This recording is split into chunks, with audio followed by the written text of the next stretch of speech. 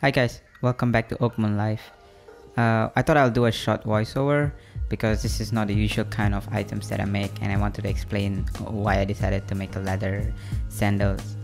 So I'm a big fan of Teva sandals and I've been using that stuff for years. So for the past few years I've been using the Teva Classics uh, which the design is inspired or actually it's the same as the one I'm gonna make here and a couple of months ago my dog uh, bit through my slippers. I tried to fix it and the dog bit through it again. So at that point it was beyond repair and I had to throw them off.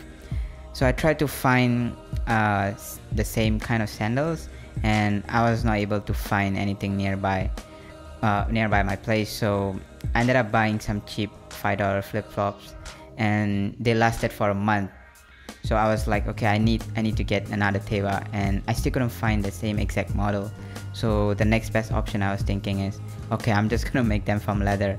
So this was my first time making uh, footwear. I'm not an experienced shoemaker so there is a lot of mistakes or things are not done according to the proper techniques.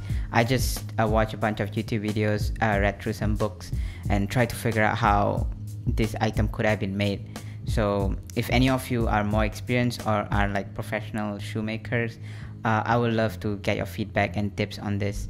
So maybe i will make something else in the future. It's actually fun making something and wearing it on your feet or like actually wearing it because it just feels the satisfaction is so much more. So yeah i had a lot of fun making this and i hope you enjoy watching how i made it. So yeah, thanks once again for checking it out.